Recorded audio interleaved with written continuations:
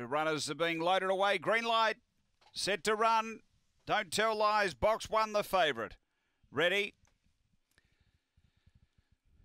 Racing. Don't Tell Lies out okay. Look at the speed out deep. Chase the Magic trying to cross. Don't Tell Lies booting up. They go to the first bend and Chase the Magic staying up the track a touch. It left the run for Don't Tell Lies to sail through. About five or six away came Straight Blaze. Gee, Midnight Blast dropped back quickly there from Victor Sage. Then over the bridge from Springvale Rex and out the back Mally Dreamer up front. Don't Tell Lies led by three. Chase the Magic and then Straight Blaze. But Don't Tell Lies clear down the running and Don't Tell Lies Goes on to beat the reserve straight Blaze. Third might be Victor Sage getting home late and uh, just grabbing right near the line there and Chase the Magic, but that'll be pretty close. Uh, they were followed behind those uh, by Midnight Blast, who didn't get in it from over the bridge. Also, uh, Springvale Rex and uh, they would have been the last few in after the running of race seven. The time here is around 30.70 and too good.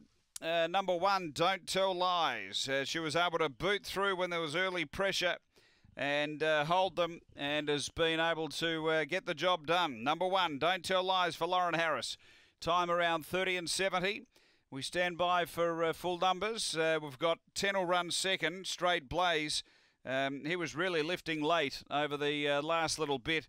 And third was close. We had Chase the Magic, and I think Victor Sage, the other one we had there. We just stand by for numbers. So um, no numbers in the frame as yet. Uh, we'll pass them down the line after race seven here at Angle Park.